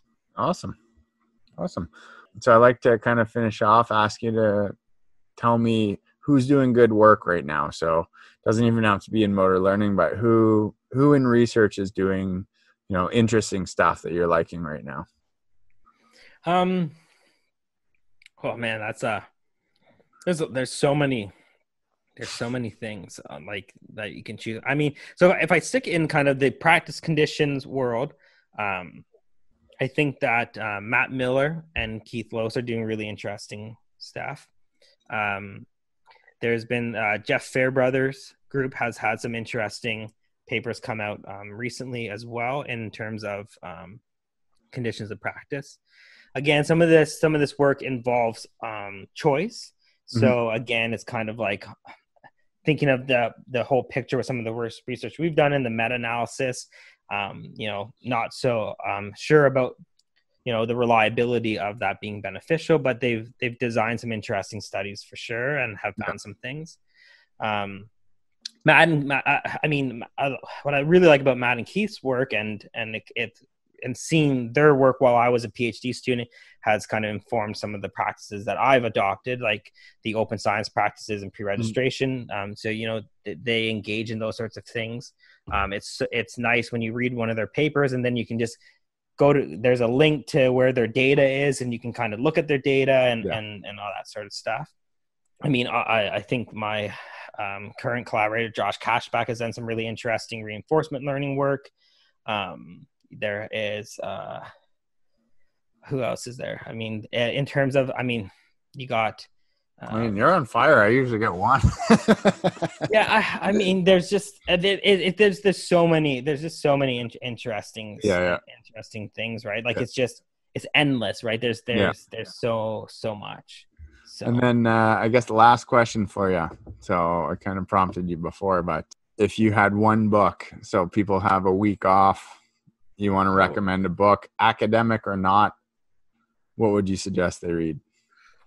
Um, so mostly, uh, yeah, I definitely pretty much only read nonfiction. I kind of feel guilty if I'm not learning something. That's actually most of my podcast guests and myself do. I never read a fiction book. But, yeah.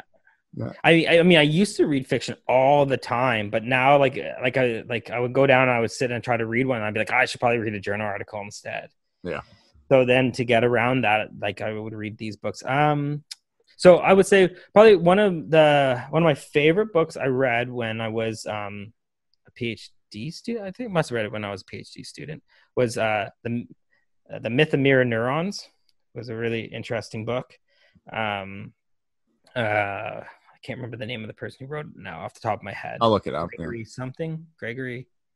I can't remember. Um, the book I'm reading right now, I just started reading, is Science Fictions by Stuart Ritchie. Um, how fraud, bias, negligence, and hype undermine the search for truth. So I would recommend that book. I'm I just am one chapter in, and I find it really good so far. Nice. So yeah, that would be probably one. I mean, there's a, I wish you would have told me that this question was coming. I can't think of uh, I can't think of a bunch of books off the top of my head. I'm trying to like in picture my my bookshelf right now upstairs and like yeah. what book would there. Well, it's funny because like as an academic, I find I just force myself, and and I still don't read nonfiction, but and I'm mostly in behavioral psychology, so I'm not in my own domain, but it applies, and I can steal ideas. But um, but I don't read very much outside of work. And I almost, for a long time, I thought of it kind of like all I do. Well, a lot of what I do is read. So when I come home, the last thing I want to do is read, right? But then I've yeah. actually, I've actually gotten more into it now when I take stuff that doesn't directly apply. Yeah, and and I would say that like my my nonfiction reading for the most part is often things that are like I mean, like I have some math books, I have um, like some physics books, like so I'm generally kind of reading outside of my realm a little bit. Yeah. Um, well, actually, a lot of a lot outside of my my realm.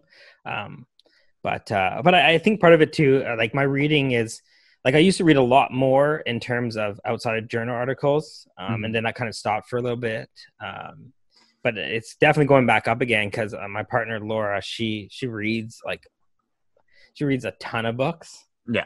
And like reads so I wish I could read as fast as she does. Like if I could read as quickly as she does, like could consume so much more knowledge. Yeah. Yeah. So, yeah. But uh and maybe actually keep up with like all the papers that are always coming out. Yeah, yeah. yeah. Nice. So. Well, uh it was awesome. Thanks for taking the uh taking the time to chat you know, I know what it's like to have a newborn and a little baby at home. So taking two, two and a half hours, three hours to chat with me. Is, uh, oh, well, I mean, the, the, the good part is being able to do it once he's once he once he was in bed.